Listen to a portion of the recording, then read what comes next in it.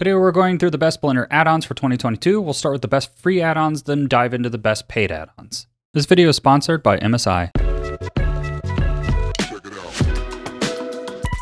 Make sure to comment your favorite add-ons in the comments. Don't forget to check out my free material pack with over 20 free materials, and all my courses and products are also on Gumroad if you'd like to check those out as well. If at any point you're wondering why my viewport is rendering so fast, that's because I'm using the sponsor provided MSI WS76. This thing is super fast. I'll put the specs at the bottom of the screen. I really love this computer. We'll talk about it more in the video and some recommendations on hardware for yourself. But with that being said, let's get started.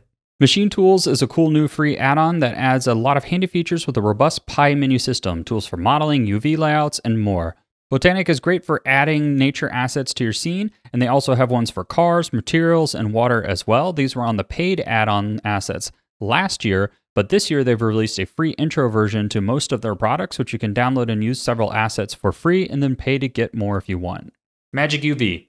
This added several basic UV functions to the UV editor, and this is a great for complex UV unwraps, and especially if you're doing characters. Images to planes. This add-on allows you to import images as planes.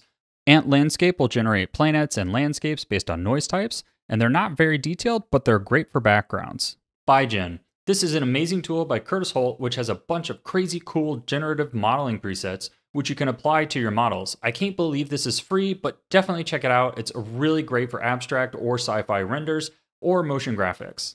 Adobe released a few new Blender add-ons this year, and they have the new Substance add-on, which lets you import Substance file, allowing you to adjust generative properties live. There are plenty of free Substance materials out there that you can check out.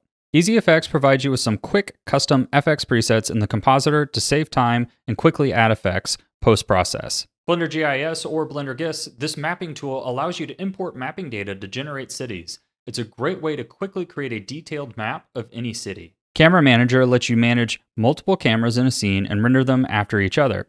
It also has some other quick presets to make switching between cameras more easy. Extra Objects. I use this one all the time. It adds a bunch of extra objects to the Add menu, and there's one for Mesh and also one for Curves. The Node Wrangler gives you shortcuts to make using nodes easier. For example, pressing Ctrl T on an image will give you a full image mapping setup. And there's much more which you can view in the documentation. One of my favorite is Ctrl Shift T, which allows you to import your PBR maps. Loop Tools. This gives you a bunch of tools in edit mode to easily edit edge loops. Most importantly, it gives you this circle tool that lets you convert an edge loop into a circle with the click of a button. I use this one constantly. Extra objects. This adds a bunch of extra objects to the add menu. There's one for mesh and one for curves. I personally use the quadrasphere option quite a bit and the spirals in the curve section. Bool tool. This tool is super handy for using booleans. The default workflow is a bit slow and requires a lot of clicks and modifiers, where this adds a lot of shortcuts to speed up the entire process doing a lot of those steps for you. Rigify allows you to position preset armatures on your characters and then automatically attach and create controls. And most people don't know this, but you can also generate your own rigs from the pieces using this add-on. So I'm thinking about doing a tutorial on that. Let me know what you think in the comments below. Tidy Monkey. This add-on is a bunch of quick shortcuts and tools oriented around game dev. It makes it easier to export for popular engines as well. IvyGen. It's an incredibly cool add-on that'll automatically generate Ivy up whatever kind of object you select. Discombobulator. The Discombobulator is a great tool for adding Greeble to your objects. From the creators of HardOps, this tool makes it easier to kit bash and comes loaded with a bunch of great free assets. You can also add your own. Let's talk a bit about our sponsor. The WS76 workstation is built for those who need every ounce of power you can get from your computer. I measured thermals during my render tests and I was impressed at how well it did. It has an Intel i9 processor, an NVIDIA RTX A5000 graphics card, support for Omniverse drivers, plenty of RAM for large scenes, Wi Fi 6E, 99.9 watt per hour battery life. This is a top of the line workstation for professionals. If you're interested in something cheaper for a hobby, I'll list some of those in the description as well, as MSI has a wide range of options that accommodate all creatives. Full disclosure, some of these paid add-ons are affiliate links, which I'll label in the description below. I won't recommend anything I wouldn't use myself. RBD Labs is an awesome simulation add-on, making it easier to produce some wild results in Blender. I know a lot of people love simulations, so I wanted to include this one. Node Preview. I love this add-on. It gives you a little preview thumbnail of what your texture is. This is extremely useful for creating generative content. For example, when I made my polka dot generator. Decal Machine is a super cool add-on that uses mesh decals to add surface detailing in a non-destructive manner. I've never seen a workflow like this before, and it's super unique and clever. HardOps, the most popular tool in Blender. This tool adds an incredible array of hard surface modeling tools. So good, in fact, I have friends who work at PlayStation and Epic Game Studios that have told me this is a standard in their hard surface modeling pipeline, making this some of the best hard surface modeling tools in the entire industry. Nebula Generator.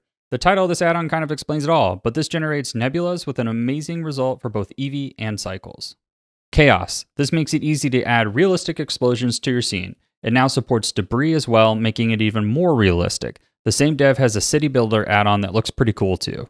Material Builder Suite. This is an essentially an entire material building tool inside of Blender. It has a pretty unique flow, and it's very powerful and can yield some amazing results. This add-on offers high quality, 100% procedural, and practical material nodes. Retopoflow is another industry grade tool. This series of tools makes retopologizing much less tedious with tools that almost work like magic. Image scattering is an amazing tool for two features. One, it helps you scatter your images. If you don't know what that means, it takes a tileable texture and makes it help randomize it to prevent a repeatable pattern from occurring. It also has an option to use triplanar projection mapping, which allows you to project the texture onto an object from three different angles. This can bypass UV unwrapping and makes texturing much simpler.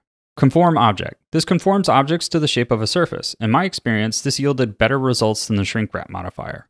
I believe this is pronounced IK, and IK lets you projection map multiple textures onto one UV easily.